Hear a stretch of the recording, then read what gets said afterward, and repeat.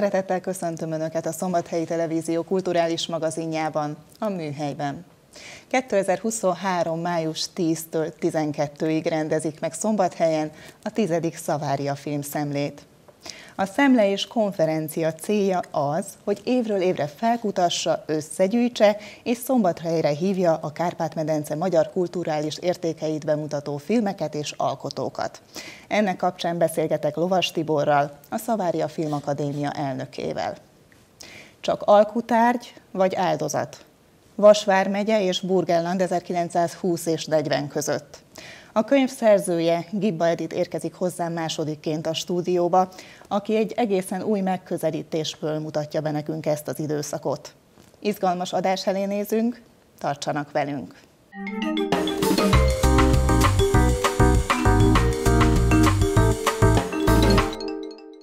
Köszöntöm a stúdióban Lovas Tibort, a Szavária Filmakadémia elnökét. Köszönöm szépen a meghívást, köszöntöm a kedves nézőket és téged is. Kerek évfordulóhoz érkezett a tizedik Szavária filmszemle. Tekintsünk kicsit vissza a múltra, hogy indult útjára a szemle.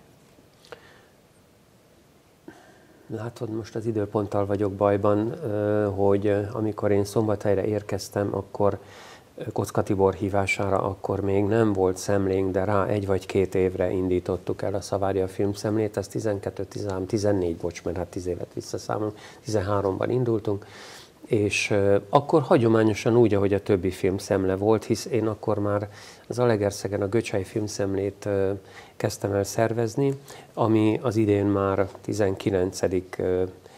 szemle lesz, és Tibor nagyon, nagyon erősen támogatta az elképzelésünket, meg hát a kollégák is örömmel vették ezt az új dolgot, a városvezetése is, és neki álltunk a hagyományos filmszemlés módszernek, tehát kisjátékfilm, filmetűd, dokumentumfilm kategóriákat hirdettünk meg az első évben. Mi volt a célja annak, hogy elindultatok? Mindig is az, ami ma is szerintem, egyrészt összegyűjteni és lehetőséget kínálni azoknak az alkotóknak, akiket nem hívhatunk profiknak még. Tehát akik, akik még nem biztos, hogy filmintézet által támogatott ösztöndíjakból, pályázati összegből készítenek filmeket, hanem saját maguk próbálnak meg producereik révén forrásokhoz jutni, és az általuk fontosnak tartott témákat feldolgozni, akár egy filmetűdről beszélünk, egy, egy fiatal író, forgatókönyvíró fejében megszületik egy jó ötlet, és abból filmet csinálnak, ezek 11 néhány perces filmek, és vannak a dokumentumfilmek, ezek viszont komoly értékeket tartalmaznak. Ugye itt beszélgettünk, nem titok elárulni azt, hogy ahogy megérkezik az ember a stúdióba előtte, fogad a szerkesztő, és beszélgettünk arról, hogy például az idén 50 éves a Szavária mozi, hogy, hogy valakinek eszébe jut, hogy készítsünk erről egy dokumentumfilmet. Ez egy 21 néhány perces filmalkotás, ami az biztos, hogy rengeteg tárgyi emlék fűződik, de vannak egykori mozi vezetők, vagy ott fellépők, szereplők, nagyon sok közönség találkozó volt, és ebből egy fontos kordokumentum született, tudod, és Ezeknek a bemutatása minél szélesebb körben, ez volt a cél. Ezzel tulajdonképpen segíteni kívántátok Hogyne. őket, egy bemutatkozási lehetőséget kívántatok adni nekik. Hogyne, és terveztük nagyon az elején, hogy minél többen jöjjenek el, tehát egymás között beszélgessenek, nézzék meg egymás filmjét, tanuljanak belőle. Mondhatnám azt is, hogy egy ilyen kis civil nyári akadémia, filmakadémia szerűen, hogy, hogy töltsenek el itt egy-két napot, találkozzanak más alkotókkal, nézzék meg, hogy ők hol tartanak, milyen témákat dolgoznak fel, milyen, milyen módszerekkel nyúlnak egy-egy témához. Szóval Ennek kapcsán már fontos. azt is el lehet mondani, hogy az tíz évvel ezelőtt indult filmszemle, az ottani alkotók, akár már egy közösségi, baráti közösségi is kinőtték magukat? Ó, hát ennél, ennél már sokkal többet szerintem, nagyon sokukat már komoly állami kitüntetésben részesítettek. Tehát most már a filmjeik néhányaknak bizony a nemzetközi szemléken szerepelnek. Tehát, és nagyon fontos megjegyezni azt, hogy akkoriban a, az ORTT utódja, az NMHH Nemzeti Média és na,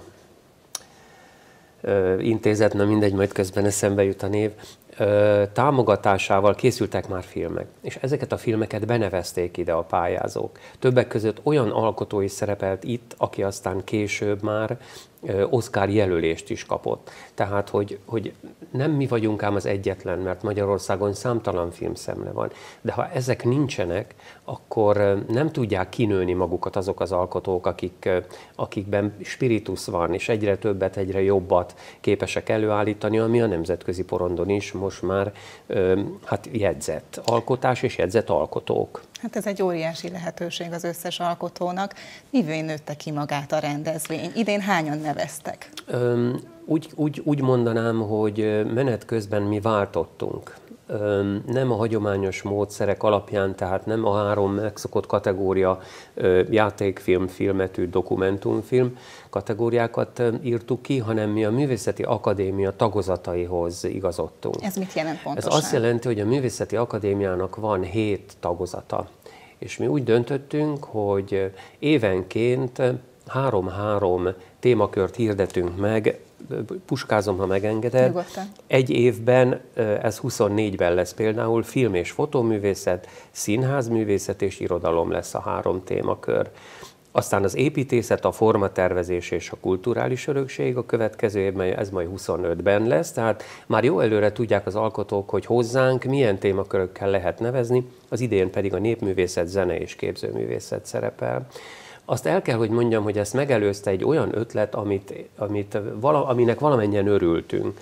Tehát minden évben külön írtunk ki egy olyan kategóriát, ami mondjuk egy évfordulóhoz kötőd, köthető volt, például a Szent Márton évben Szent Márton témakörű filmeket vártunk. Volt egy év, amikor biciklis filmeket vártunk, tehát mindig kitaláltunk valami, valami kis plusz érdekességet a, a hagyományos filmek mellé, aztán jött ez a váltás, Igen. és azt kell, hogy mondjam, hogy úgy tűnik, hogy az idei esztendő egyelőre az elmúlt néhány évben teljes egészében felülmúlja. Tavaly évben 70 egy néhány film érkezett, az idén 123, képzőművészet 37, néprajz 58, zene 28, 63 órányi anyag, tehát nagyon előzsűriznünk kell, mert nem tudjuk levetíteni az összes filmet, most már szinte biztos, úgyhogy elég komoly ö, verseny várható, a zsűrinél már ott vannak a filmek, szokás szerint egymástól teljesen függetlenül zsűriznek, letölthetik a filmeket, vagy megnézhetik valahol, tehát nem kell ma már adathordozókon eljuttatni a számukra, és kapnak egy pontozásos táblázatot, és oda beírhatják a maguk megjegyzéseit és a pontszámokat a filmek alapján. Mi összesítünk, és csak akkor szólunk nekik, hogyha esetleg nagyon komoly verseny van az első helyekért mert akkor újra kell dönteniük, és akkor újra kell pontozniuk, és hát majd kiderül, hogy kik kapják meg május 12-én. Én nagyon remélem, hogy a filmszínházunkban a díjakat, illetve az idén is, ahogy az elmúlt esztendőben két adunk át. Még nem szeretném megnevezni, hogy kiknek, de már megvannak ezek a jelöltjeink, akik reményeink szerint úgy jönnek, hogy közönség találkozóval egybekötve, tehát mindketten filmalkotók, az egyikőjük az színész, rendező, a másikójuk az egy, egy jeles rajzfilm rendezőnk. De Még egyelőre ennyit nem, erről, igen, igen. igen. Visszatérve kicsit a nevezésekre, volt-e valamilyen megkötés műfaját tekintve mm-hmm. akár, vagy a technikai paramétereket tekintve?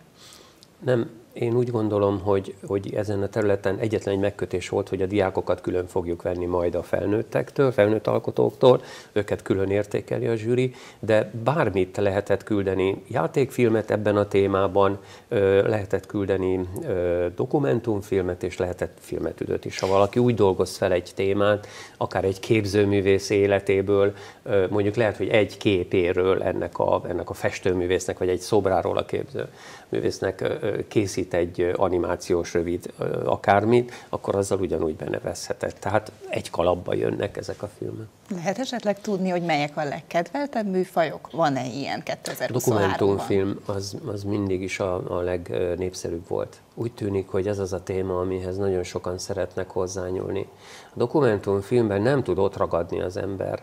Ezt úgy, úgy értsük, hogy egy játékfilmben vagy egy, vagy egy mozifilmben ha az ember nézi, akkor ugye ott tapad, ott ragad. Ami nem jó, mert a, a film az valójában bemutat egy, egy valós történetet, ami nem valós, mert nem életszerű.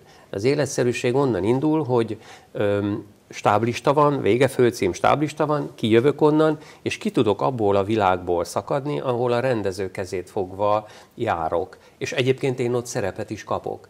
Mert, a, mert minden filmben ott vagyunk, te is, én is, a nézők is, mindenki. Csak később jövünk erre rá.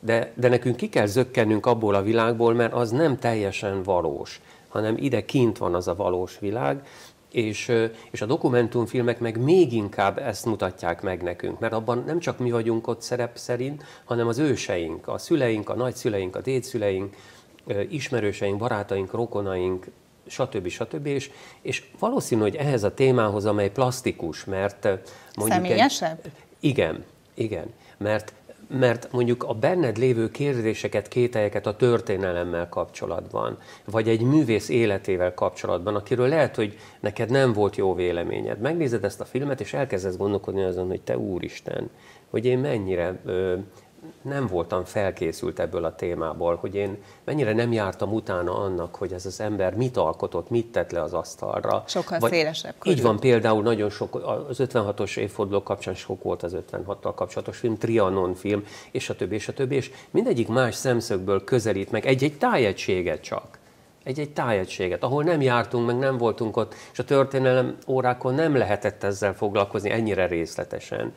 De azért mondom, hogy plastikusak, mert így összehegeztik, összeragasztják a múltat nekünk, hogy megértsük, hogy valójában mi is történt. És, és ezért nagyon jó. Talán ezért szeretnek sokan hozzányúlni. András Ferenc bátyánk, aki tavaly életműdíjat kapott nálunk, és a nemzetművésze, Kossuth díjas, Balázs Béla díjas, szinte mindent megkapott Feri bátyám, ő azt mondta egy alkalommal, hogy ő a dokumentumfilmeket nem szereti, mert ő is játékfilmes volt, egy ellenpélda. És ő nagyon szereti a kisjátékfilmeket, filmek tüdösöket. Mert hidd el, Tibor, hogy aki most kisjátékfilmes, abból lesz majd később a jó nagyjátékfilmes rendező. Egyrészt a forrás, tehát egy nagy játékfilmre azért sokkal több pénz kell, mint mondjuk egy 10-11 néhány perces filmre. Másrészt pedig Ö, ahhoz, hogy te egy nagyjátékfilmes rendező légy, ahhoz azért iszonyú tapasztalattal kell rendelkezned. Tehát ott, ott színészeket kell vezetni. Tehát ott lehet, hogy az operatőr olyan partneret, hogy már tudja a gondolatodat, és tudja, hogy képileg te itt most hogy, hogy szeretnéd, a világosító tudja, hogy, hogy mit csináljon. De, de fiatalon egy idősebb színészt vezetni, az nagyon-nagyon nehéz.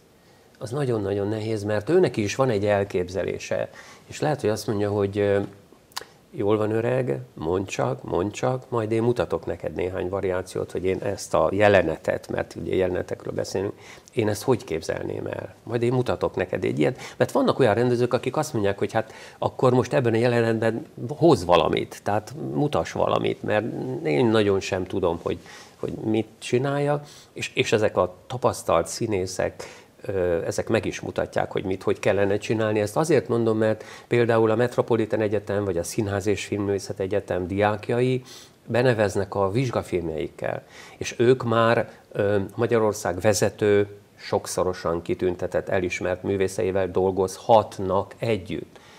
Ott szinte mondhatnám azt is, hogy hátradőlök, és azt mondom, hogy hát kedves Koltai Robert, akkor most itt a szerep, parancsoljon. Ez óriási Ugye? lehetőség hát a fiatalok hogyne, hát számára. Hát hogyne, hogyne. Említetted, hogy a diákok külön lehetőséget kapnak diákfilmes pályázatba. Ez mikor indult el, meddig van a nevezési határidő, illetve milyen témakörökben mozoghatnak a diákok? Ezt a témát mi nem szerettük volna kiírni, de azért annyit elárulok, hogy a konferenciáról még mindig nem beszélhetek. Ezt az a partnerünk kérte, akivel jelen pillanatban is a megállapodások és az együttműködési szerződések kidolgozásán ténykedünk. Ő azt kérte, hogy amíg ez nincs aláírva, addig nem mondjuk el, hogy mi lesz a konferencia témaköre, de annyit azért mondhatok, hogy a diákfilm pályázat kiírásával kapcsolatos. A diákfilmeket 14 és 24 éves korosztálynak írtuk ki. Nincs megkötve az, hogy milyen műfajban lehet pályázni, pusztán a témakör. Sőt, két, két olyan terület van, a, két olyan, bocsánat, akkor megkötés mondok inkább, hogy vagy 30 és 3 perces filmekkel, vagy pedig hosszabb félórás filmekkel lehet pályázni. Én azt gondolom, hogy a, a 30 és 3 perces filmekből lesz sok, mert már most jelezték, hogy TikTokos filmekkel is pályázhatnak el a fiatalok. Témakörök pedig mire jó az online tér, tehát mire lehet használni egyáltalán az online tért, mit jelent számukra az új digitális jövő, ezt ők hogy tudják elképzelni, és a harmadik témakör pedig veszélyek az online médiában. Ugye tudjuk azt, hogy ez a, ez, a, ez a harmadik témakör az, amiről mostanában igen sokat foglalkozunk. Tétlenül állnak a szülők, tétlenül állnak a pedagógusok, tehát csak azt látjuk, hogy a fiatalok néha nem etikus dolgokra használják fel ezt a teret egyrészt, egymással kapcsolatban egymással szemben, hogyha én most haragszom rád, akkor fölteszek rólad valami olyasmit, ami... De ez egy digitális lábnyom, és erről azért velük beszélnünk kell. Másrészt pedig azt látjuk, hogy a, a, a gyermekek részéről, a pici gyermekek részéről is ma már a családok, hát én úgy hívom, hogy a digitális cumi, vagyis az az okos eszköz, amit odaadunk a gyereknek, hogy maradjon csöndbe, foglalkozzék vele. A gyerek foglalkozik vele de hogy mit csinálott, meg, meg mit kellene csinálnia, vagy egyáltalán ideje van-e annak, hogy a kezébe adom ezt, azt jó lenne eldönteni, és jó lenne ebben segíteni a szülőknek. Mit gondolsz, ez a korra jár, kikerülhetetlen? Hát szerintem a digitalizáció a jövő, tehát itt er, er, gondolkodhatunk erről, én azt gondolom, hogy egész este pro és kontra érveket hozhatnánk fel, de hogy a veszély ott van, a, az, hogy a, a bizonytalanság ott van ebben a térben, és az, hogy én ott egyedül vagyok, és nem véd engem senki, és nem tudom még átgondolni, hogy amit én ott nyilatkozom, amit én, vagy akivel én ott társalgok, hogy általa milyen leszélyek, veszélyek leselkednek rám, ezt egy fiatal ember még nem biztos, hogy felfogja, egyrészt, másrészt pedig azt felfogja, hogyha én nem vagyok sikeres ebben a térben, akkor én egy senki vagyok. Tehát nem, még nálunk nem, de az Amerikai Egyesült Államokban igen-igen komoly veszélyt jelent az, hogy a sikertelen fiatalok, akiknek mondjuk a követői száma nem haladja meg azt a pár ezret, amit a társainak sikerült elérnie, nagyon sok esetben akár az öngyilkosság gondolatával is foglalkoznak, mert hogy én ebben a társadalomban egy senki vagyok. Engem Azt senki gondolom, nem követ. Igen, hogy a szülőknek ebbe óriási felelőssége van, és nagyon örülök neki, hogy egy ilyen témát választottatok a diákfilmes pályázathoz. Sok szeretettel gratulálok még Köszönjük egyszer, szépen. és rengeteg filmest kívánok, és nézelődőt, és filmnézőt a fesztiválra. Nagyon szépen köszönöm a lehetőséget is, hogy itt lehettem. Köszönöm.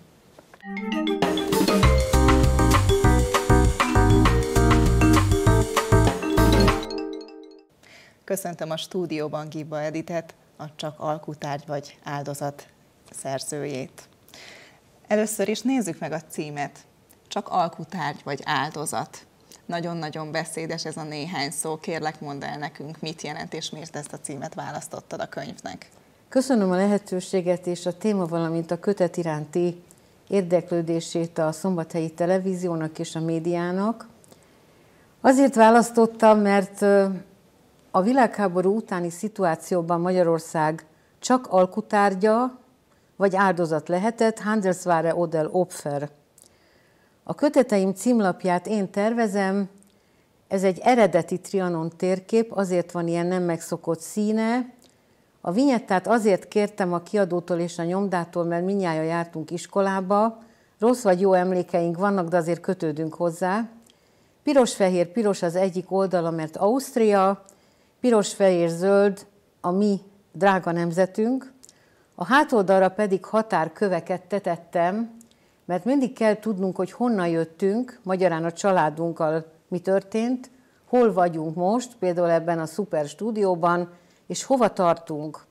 És mivel egy modern időszakot érünk, még őszentsége a pápa is azt mondja, hogy a websájtokkal közlekedünk, ezért egy QR kódot is kértem, mi található ezen a QR Édesanyám kedvelt dala, a Trianon érzést kifejező Kraszna Horka büszke vára tárogatón. Menjünk is vissza egy kicsit az időben. Honnan indult benned a történelem iránti szeretet? Szüleitől hozod? Nem. Ők közgazdászok, de kitűnő tanulók voltak. Nagyon hányattatú sorsú mind a két család. Apai ágon egy régi nemesi família, és ebből adódóan számos probléma vetődött fel velünk. Mindkettőjüket pillanatok alatt kirakták a katolikus egyetemi kollégiumból Budapesten. Édesanyám a szombathelyi Zárdának volt eminens tanulója, édesapám pedig Székesfehérvári, a ciszterci apát volt a keresztapja. Nagyon gazdag szellemi örökséget kaptam a nagyapáimtól, akiket nem ismertem, és orvosnak készültem hosszú ideig, mert nagyon jó voltam reáltárgyakból, aztán a sors másképp hozta, és elkezdtem gondolkodni, amiben segített a mostani metropolita érsek emeritus dr. Márfi Gyula, valamint Sillaba Ferenc, hogy mindenki agyon kutatta már a két világháborút. A kettő közötti periódussal nem foglalkoznak, így 20 évi kutatás után meg is értem, mert szálanként kell az iratokat összeszedni, négy nyelven kell tudni ahhoz, hogy én egy jó képet nyújtsak az olvasóknak, nem az akadémikusoknak, az olvasóknak, az érdeklődő embereknek, tehát kell tudni a gótbetűs németet, minden kötetemnél reggel 5 órától fél nyolcig ezzel foglalkozom. Franciául, angolul, normál német és latinban is magabiztosan kell mozogni. Mennyi kutatómunkát igényelt tőled ez a könyv? Ez 7 év, 8000 oldal a kéziratom, 3800 a letöltés, és a kötet befejezését, mert ugye a Betlehemi Csillag napján jelent meg a Covid kellős közepén, az tulajdonképpen FFP 2-es maszkban napi 8 órában írtam a Hofburgban. Hozzá kell tennem, hogy semmiféle anyagi, szervezeti, intézményi támogatásom nincs. Ehhez azért elég nagy kapcsolati rendszerre van szükség, ugye, hogy az ember felkutasson bizonyos dolgokat. Hogy álltál hozzá? Hogy kezdted el? Arra gondoltam, hogy ez ideig minden csak Magyarországon lett feltárva. Remek közeg a Meleg a doktor által vezetett Magyar Nemzeti Levéltár, Vasmiai Levéltár, ahova szeretek járni. Nagyon képzett, szenzációs kollégák vannak. Szintén remek a dr. Perger Gyula által vezetett, irányított Visitor Center, az Egyházmegyei Látogatóközpont. Az ottani kollégák áldozatos munkájának köszönhető a kötet technikai részének a kivitelezése, Fábián Tamás rendszergazdának, és szenzációsan felkészült kolléganők vannak az Egyházmegyei Könyvtárban, a Rónainé vezetésével, és ők nagyon sokat mentálisan hozzátettek a kötet sikeréhez. Melyek voltak a kutatómunka legizgalmasabb pillanatai? Nem mutatva a kedves nézőket és hallgatókat, a közigazgatást választottam alapul, mert az működtet minden manapság is. Például az egyetemi értekezésemet az 1929. évi 30. törvénycikkből írtam, amely közigazgatási reformtörvény. A jelenlegi kormány is számos elemét átvette, egy mondatban a több ezer oldalról optimalizáljuk a feladatokat és a létszámot. Legjobban kvalifikált embereket tegyünk különböző pozíciókba, nem a vezetőkre gondolok, hanem a sima közigazgatásra. És akkor át kellett nézni a főispáni, alispáni iratokat, közgyűlési jegyzőkönyveket, és ugye a könyv azért érdekes, mert száz év után először vállalkozott valaki arra, hogy a két országot összehasonlítja, és a két területet. Tehát Vas vármegyét és a később Burgolannak, Várak földjének nevezett területet, amely Vas megye, Vas vármegye szerves része volt. Amikor az egyetemi védésem volt, a belügyminisztérium Duna palotájában körülbelül 150 ember előtt, fele azért jött el, hogy ezt a vidéki ismeretlen nőt megnézze, és akkor 25-26 éve nem voltak topon a két ország kapcsolatai sem, és amikor azt mondtam, hogy akkori megyéspüspökünk, gróf Zabolai Mikes János Henrik arra ébredt, hogy 100.200 hívőt elcsatoltak, és a Prék Múriét, tehát a Muravidék 69 plébániáját ilyen mai észszel nagyon nem protokollárisan mondva, csodálom, hogy normális maradt. Tartalmilag mesélj kicsit nekünk a könyvről, hogy épül fel. A kötet alapvetően tehát párhuzamba állítja a két ország 20 évét, 1920 és 40 között, olyan történelmi személyiségeket is megjelenítek benne, akik kevésbé ismertek. Gondolok arra, hogy 1526 és 1920 között, tehát a Mohácsi vész és Horti Miklós, kormányzó, Reichsverweser, nem volt a Szentszéknek nagykövete Magyarországon. Őt úgy hívjuk, hogy nuncius. Lorenzo Sioppa, az újságok, a korabeli lapok Sioppa Lőrincnek hívják, a várban kapott elhelyezést, és a mi megyés püspökünk és a szombathelyi székes káptalan segítette, hogy úgy mondjam, otthonosabbá tenni a lakást számára. Említek két szemét, akit én úgy nevezek, hogy Magyarország barátai. Az egyik őjük Herihin Banholz tábornok, akinek a szobra Budapesten. Róla mit kell tudnunk? A régi TV székház mögött található. Az amerikai Entente, vagyis Antant regnált képviselője volt Budapesten, és egy sima pecséttel meggátolta, hogy a Nemzeti Múzeumot és az ott található kincseket, valamint a Keresztény Múzeum Esztergom szellemi és tárgyi kincseit a románok elvigyék. A vindikációnak az volt az alapja, hogy a kincsek 90%-a szellemi kincseket is értsenek, kérem alatta, az Erdélyből ered. Romániai lett Erdély, tehát ez az ott található dokumentáció és erekje is ő hozzájuk tartozik. Erre 10 perce volt Banhocnak. Olvastam egyetemistaként a naplóját, An An Diplomatic Diary, amelyet a kiadóval szeretnénk kiadni a közeljövőben, amennyiben anyagi támogatást kapunk. A másik ilyen személy az egy olasz Guido Romanelli, aki kiváló katonai stratéga, Bécsben vezette a missziót, és ezután került Budapestre. Ő semmi más nem tett, csak a teljes Ludovika Akadémia kadétáltományát és tiszti állományát megmentette, felét ki akarták végezni, felét börtönbe tenni, és annyira ragaszkodott Magyarországhoz, hogy 93 éves korában, mikor elhunyt, akkor a Ludovika zászlaját kérte a temetésén, hogy a koporsóra tegyék rá. Tehát nem mindig az a legnagyobb magyar, aki magyarul tud, vegyük az Aradi 13 tábornokot, hanem az a legnagyobb magyar, aki tesz a hazáért, és önzetlenül. Ez a rengeteg erő, motiváció, tudás, honnan ered belőled, és mi a célod vele? A célom az, hogy mikor visszaköltöztem a megyébe és Szombathelyre, bár soha el nem távolodtam, csak egy ideig a miniszterelnök hivatalban dolgoztam, világbanki programokon, migrációs alapokkal foglalkoztam, és Magyarország csatlakozását készítettem elő.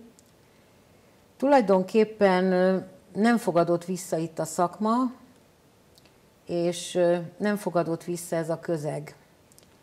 Tehát minden szempontból, ha meg se szólalok, akkor is irritálok mindenkit, a szorgalmammal, talán a tehetségemet, amit a Jóisten adott, és talán innen van az erő, meg hogy megmutassam, hogy igen, mire vagyok képes.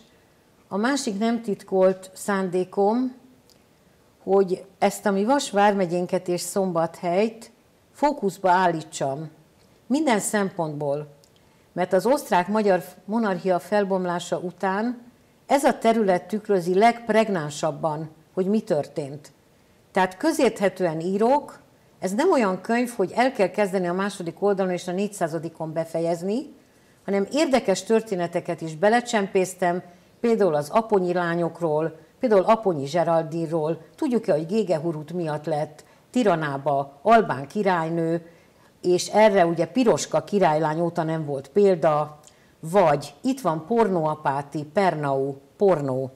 Tudjuk-e vajon, évek óta próbálkozom sikertelenül, hogy ott van egy mártír pap. Schnellbach, Pataki, Ferenc. Márkóról jött, Schwab, tökéletesen beszélt németül, kompromitálta magát az úgynevezett Nyugat-Magyarország kérdésben, Egyházi előjárója Mikes gróf kérte, hogy ne menjen vissza, ő nem akarta a híveit elhagyni, és holtestét három nap után összeverve, vérbefagyva a nárai erdőben találták meg. Vagy ki a nagy magyar? Itt van a Wittelsbach család. Mindenki ismeri Elizabeth Wittelsbachot, Sisi. Igen, igen. Franz von Wittelsbach, ez a sematizmusokban is olvasható, Sárvár kegyura. Azon kívül, hogy rengeteg konkrét dolgot fejlesztett, és a szegényügyben is eljárt, a Népszövetségig elment, hogy pornó Magyarországon maradhasson. Egy másik téma, amivel nem hajlandók a megyében foglalkozni, itt van Ják. Jáknak volt egy olyan apátja, aki első ízben volt Ják község plébánosa. Mert ugye a titel, a cím és a pozíció nem függ össze. Azt gondolom, hogy rengeteg kérdés Igen. megtalálható a könyvbe, amely akár külön-külön is megérne egy-egy adást. Igen. Viszont úgy tudom, hogy ezeket az információkat, történelmi pillanatokat, érdekes, izgalmas dolgokat, amiket most nekünk is elmeséltél, te ezt iskolába, workshopokon keresztül gyerekeknek is, gyerekeknek is átadod. Kérlek, mesélj nekem erről. Igen, nagyon szeretnénk a kiadóval, ha ez a kötet minden magyarországi iskolába a Kárpát-medencébe és a diaszpora magyarsághoz eljutna. Azért, mert legyen egy egészséges nemzeti öntudatunk.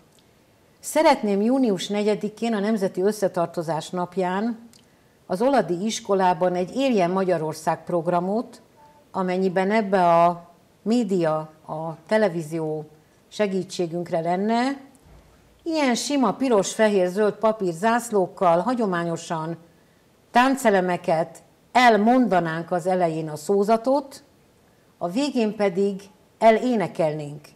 Mert el lehet menni pincérnek Innsbruckba, de itt élned, halnod kell. Mit szeretnél átörökíteni a fiataloknak ezzel? Nagyon rosszul vannak címkézve szegényeim. Tehát mindenki rájuk nyomja, hogy a nem olvasó korosztály.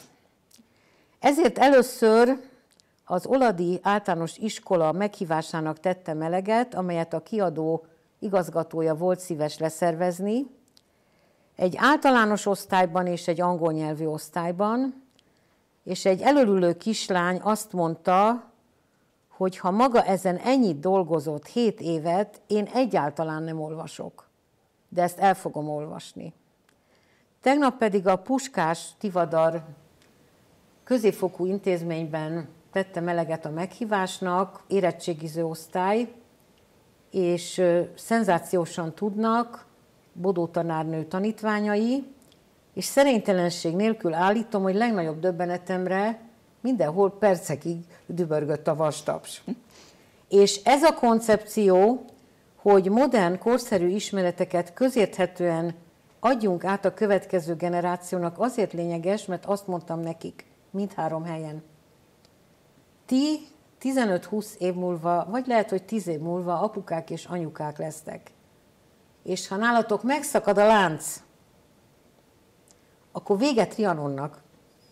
Azt hiszem, hogy ez egy elég szép végszó volt, és hát a gyerekektől lehet a legnagyobb elismerést kapni. Gratulálok még egyszer a könyvhöz, és további sikereket kívánok önnek a jövőben. Nagyon köszönöm a szívbéli hozzáállást. Önöknek köszönöm megtisztelő figyelmüket, köszönjük, hogy ma is velünk tartottak. Találkozunk jövő héten, itt a műhelyben. Viszontlátásra!